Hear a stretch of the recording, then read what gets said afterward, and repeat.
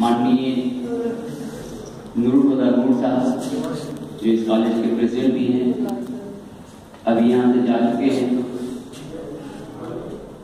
शिक्षकगण और प्यारे बच्चों, हम एक साथ चार पीढ़ी मिलकर आज इस उनहत्तरवें गणतंत्र हैं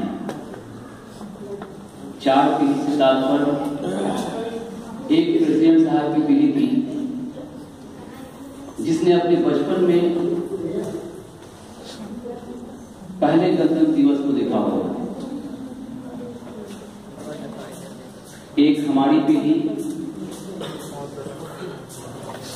जो कि गणतंत्र दिवस के बीच के हिस्से को देखा, और एक आपकी पीढ़ी। जो कि तीसरी उनहत्तरवें गणतंत्र दिवस को देख रही है। और कैंपस में मौजूद छोटे बच्चे भी हैं थे भी ये चौथी पीढ़ी हमारे पास बड़ी खुशी हुई, क्योंकि वक्त बहुत कम है, बोलने की ख्वाहिश बहुत थी। पूरा प्रोग्राम भी मैं आपका नहीं सुन पाया। किसी के कारण कोई बाहर निकलनी पड़ी। आज जुमा कर दिन है और मेरे पास सिर्फ़ पाँच मिनट बचा हुआ है। घड़ी बता रही है कि, कि दो से तीन मिनट मैं हूँ और बाकी जो जो स्वीट्स डिस्ट्रीब्यूशन है वो कर लिया जाए। मेरे पास सिर्फ़ पाँच मिनट समय है। मैं आप लोगों को इस उनहत्तरवें गणतंत्र दिवस की तहे दिल से मुबारकबाद देता हूँ। आपके साथ इस देश के तमाम लोगों को दिल से मुबारकबाद पेश करता हूँ।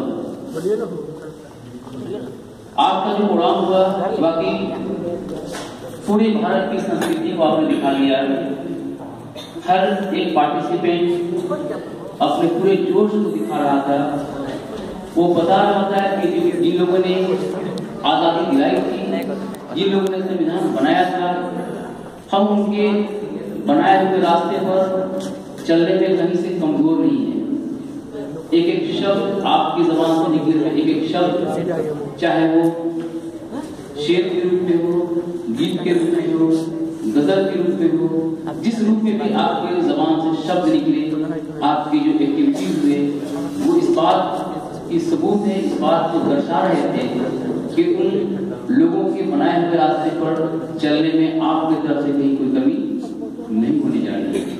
मैं केवल एक चीज़ में जोड़ूँगा कि जिस तरह से आपने अपने इतिहास को अपने लफ्जों में बयान किया है, इन इतिहास को, इस इतिहास को याद रखने की आवश्यकता है, इस इतिहास को हमेशा याद रखने की आवश्यकता है, क्योंकि वो लोग जो अपने इतिहास को याद नहीं रखते हैं, अपनी अपनी तारीख को याद नहीं रखते हैं, वो कामयाबी के रास्ते पर नहीं चल पाते इतिहास सिर्फ़ और सिर्फ़ दिन, तारीख और सूचनाओं का एक माध्यम नहीं है बल्कि यथार्थ और भविष्य को भविष्य को भविष्य की योजनाओं को यथार्थ पूर्वक बनाने में एक सफल मार्गदर्शक के रूप में कार्य करता है। इसलिए आप इस इतिहास को केवल शब्दों में बयान न करें बल्कि इस इतिहास के इस, इतिहास के आधार पर अपने भविष्य की योजना तैयार करें।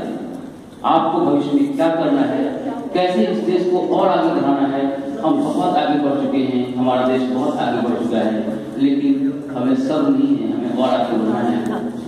देश दुनिया के अव्वल स्थान पर जाकर खड़ा होना है। उस अव्वल स्थान पर जाकर खड़े होने के लिए आपकी क्या योजना होगी? आप जब शिक्षक बन करके जाएँगे, आप अपने बच्चों के लिए कौन सी योजना तैयार करेंगे? अपने बुज़ुर्गों के लिए कौन सी योजना तैयार करेंगे? इस बात को सोचने की आवश्यकता है। हमें आशा है, हमें उम्मीद है कि आपके अंदर जो क्षमता है, उस क्षमता को देखते हुए हमें ये उम्मीद है, हमें ये आशा है कि आप उन योजनाओं को बनाने में, उन प्लानिंग को करने में और भविष्य के लिए योजना तैयार करने में, देश को आगे बढ़ाने में अपना पूरा का पूरा योगदान देंगे। इन्हीं शब्दों के साथ जय हिंद, जय भारत।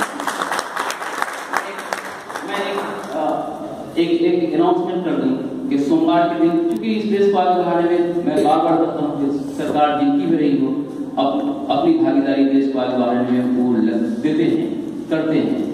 सरकार की बहुत सारी योजनाएँ चल रही हैं। डीएम ऑफ़िस से कुछ लोग आए थे दो चार दिन पहले। एक योजना है आपके आपके लिए योजना है स्टूडेंट क्रेडिट कार्ड योजना है ना? और स्टूडेंट्स के लिए तीन चार तरह की और योजनाएँ वो बता रहे थे मुझे समझ में आया नहीं। मुझे लगा कि आप लोग हमसे ज़्यादा बढ़िया से समझ पाएँगे। मुझे समझ में नहीं आई, आप मुझे लगता है ज़्यादा अच्छे से समझ पाएँगे। मैंने उन्हें मंडे का डेट दी मंडे सॉरी सैटरडे कल सैटरडे है सैटरडे का मैंने सत्ताईस तारीख को उनको डेट दे दिया है क्या सत्ताईस तारीख को आए और हमारे बच्चों को समझाया कि आप इनके लिए क्या क्या कर रहे हैं, सरकार लिए क्या क्या कर रही है। इसलिए जो भी फ़र्स्ट ईयर में है, वो तो आएँगे और अगर सेकेंड ईयर वालों को मौका मिल जाए तो आ जाए। बारह बजे से उनका यहाँ प्रोग्राम है वो बताएँगे कि से कुछ लोग आएँगे उनके डेलीगेट्स आएँगे और आपको बताएँगे गवर्नमेंट की कौन कौन सी योजनाएँ स्टूडेंट्स के वेलफेयर के लिए चल रही है और आप उनसे कैसे लाभान्वित हो सकते हैं। ओके इन्हीं शब्दों के साथ आप सब अपना अपना रिफ्रेशमेंट लें। आराम से बैठ के मज़ा लें। मैं नमाज़ पढ़ के आता हूँ। आप लोगों की बात करेंगे, उनसे करेंगे। जय हिंद, जय भारत।